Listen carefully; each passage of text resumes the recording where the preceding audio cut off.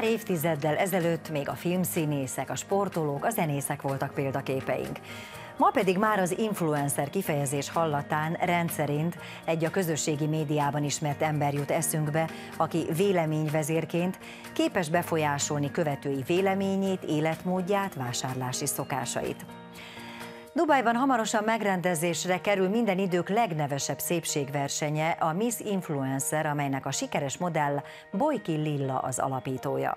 A szépségipar divája 8 éve költözött a közel-keletre. Lilla idehaza számos szépségversenyt rendezett már, de a mostani megmérettetés nem csak a külsőről szól.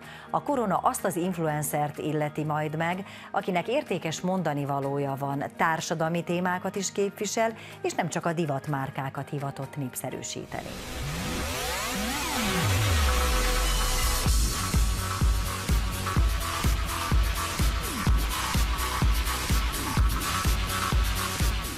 Magyarországról érkeztem Dubajba, már a nyolcadik éve vagyok kint. Első körben egy nyaralás miatt jöttem csak, viszont itt helyben ért egy olyan megkeresés, aminek nem igazán tudtam nemet mondani, és ez egy nagyon gyors döntésnek volt köszönhető, hogy kontinenst váltottam, és egy elég nagy változást hozott az életemben. Magyarországon korábban is elég nagy kapcsolatom volt a médiával, a szépségversenyekkel, volt saját média iskolám, hostess ügynökségem, és rengeteg rendezvényt szerveztünk. Már akkor is foglalkoztam influencerekkel, akiket abban az időben még talán nem feltétlenül influencereknek hívtak.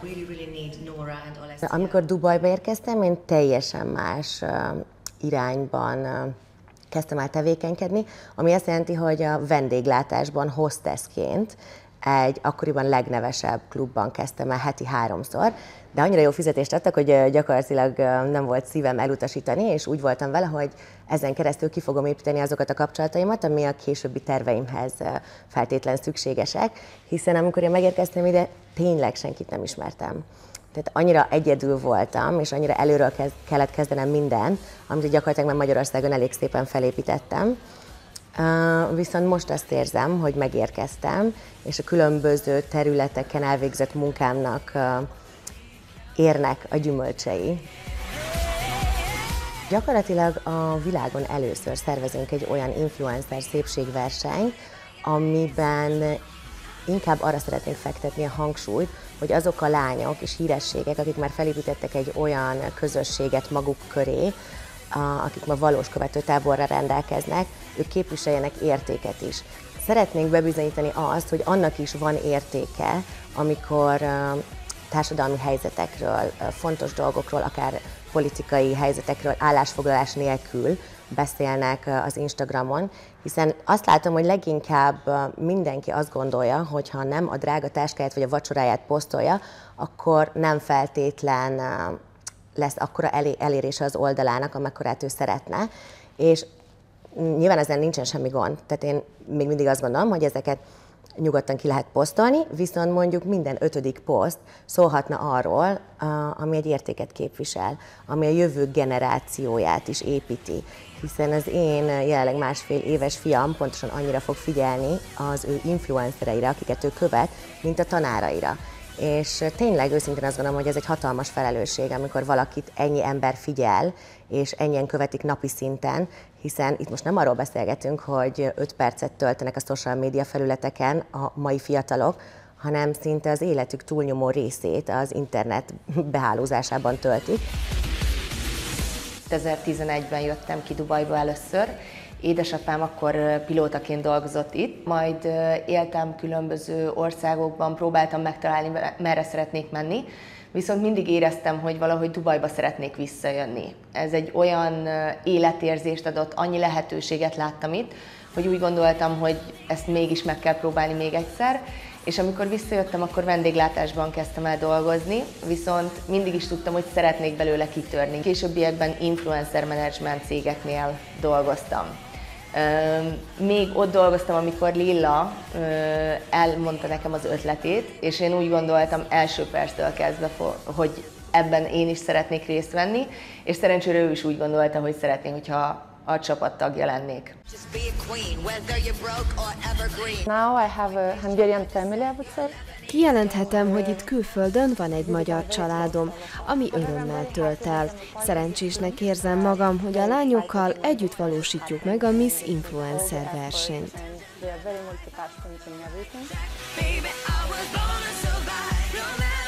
Lényegében a kombinációja egy tehetségkutatónak és egy szépségversenynek, amit influencereknek rendezünk meg a világon először itt Dubajban. A verseny jelenleg már zajlik, ez egy összetett folyamat. Bárki jelentkezhetett, akinek volt 10 ezer követője Instagramon, illetve betöltötte a 21. életévét, valamint ez nagyon fontos volt nekünk, hogy a profiljukon ne legyen semmi olyan tartalom, ami esetleg az emírségeknek vagy bármilyen más országnak nem tetszene.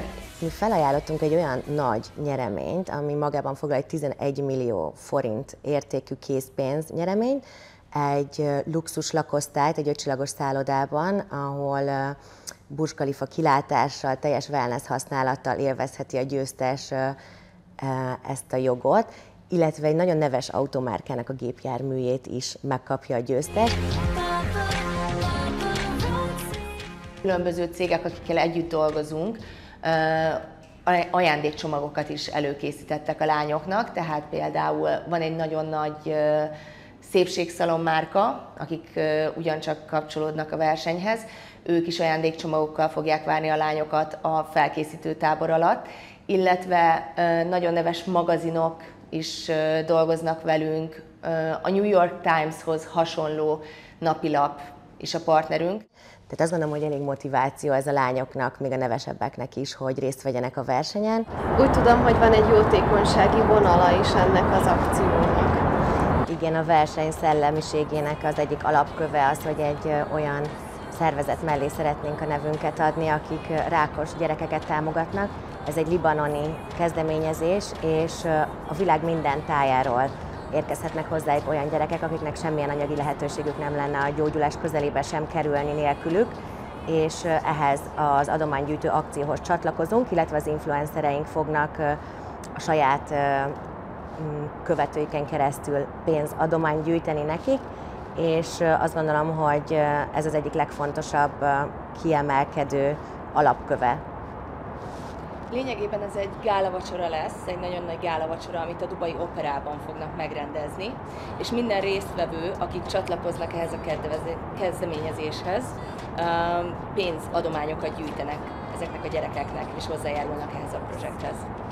Nagyon nemes dolgot képviseltek, hát csak szerencsét hozzá. Nagyon köszönjük. szépen köszönjük.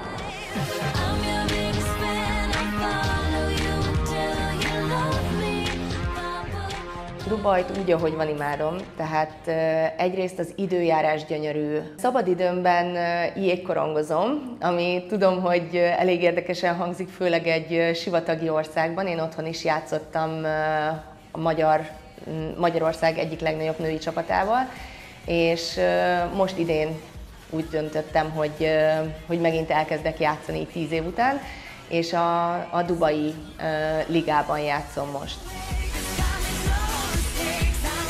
az emberek nagyon-nagyon kedvesek, nagyon-nagyon sok nemzetiséget találsz itt meg, tehát mindig találsz valami újat kultúrával kapcsolatban, amit megtanulsz, érdekesség. Sosem alszik, és talán ez a, az olyan dolog, ami annyira a személyiségemhez köthető. Nagyon szeretem, hogy nem kell téli kabátban közlekedni, és hogy mindig pozitívan kelek fel, amikor a napsugar. Tehát egy, nekem az eső, a borús, komor időszakok bőven elegendőek akkor, amikor egy-két hétre hazalátogatok Magyarországra, ez elég rendszeresen történik. Korábban Budapesten szerveztem a Miss Summer és Winter Face nevű szépségversenyeket, és már ott is zajlott a közösségi médián, a Facebookon keresztül a szavazás, és nagyon hasonló volt a koncepció. És ahogy említettem most, hogy betörtek a 21. században már minden márka az influencerekkel is hirdet, és ezért szerettem volna egy olyan kombinációt létrehozni, ami ez a korábbi szépségverseny, de valahogy a tehetségkutatás, a befolyásoló képesség mm, összhangba kerülhet. Tehát gyakorlatilag ez egy komplet marketing csomag, mi ezt itt úgy hívjuk, hogy egy multiplatform reklámozási stratégiát építettünk ki, hogy nem kell külön a cégeknek elmenni egy PR ügynökséghez, nem kell külön rádióhirdetéseket, tévéhirdetéseket fizetni, nem kell influencer ügynökségekkel kapcsolatba lenni. Itt mi mindent egy csomagban biztosítunk nekik, az egész versenyt mi szeretnénk nemzetközi szintre emelni. A következő versenyt Európában nem titok, hogy Magyarországon szeretnénk a következő év elején már megtartani, de utána Indiában és Szaudarábiában lesz az első hasonló megmérettetés. Bele szeretnénk vinni ebbe a social media világba a saját nagyon nagy influencereinken keresztül, akik jelentkeztek erre a versenyre, hogy már pedig ők figyeljenek arra, hogy ez a társadalom, ez a generáció rajtuk fog felnőni, és bármit kommunikálnak, bármit közvetítenek, hatalmas befolyással lesz rájuk.